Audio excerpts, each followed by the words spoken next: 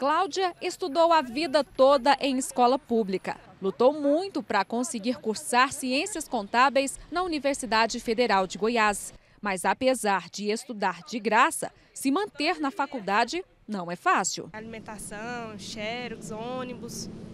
Tudo isso pesa. Você tem algum auxílio da universidade para poder ajudar? Não, por enquanto não. Uma pesquisa realizada pela Associação Nacional dos Dirigentes das Instituições Federais de Ensino Superior, a Andifes, revelou que, ao contrário do que muita gente pensa, os alunos de universidades públicas não são de famílias ricas e nem vieram de escolas particulares, mais precisamente das classes C, D e E. O dado mais impactante da pesquisa é o perfil de renda, né? 20% de, da, dos estudantes com até meio salário mínimo 50 até 1 e 75% dos estudantes até com renda familiar per capita até um salário mínimo e meio. Isso nos coloca um desafio enorme de como fazer com que esse estudante permaneça e que tenha êxito dentro da instituição. O estudo mostrou ainda que na UFG, 58% dos alunos entram por ampla concorrência e quase 42% por cotas. Dentre os cotistas, 34% são pretos, pardos ou indígenas e de escolas públicas. A maioria dos pais dos estudantes também tem, no máximo, o ensino médio.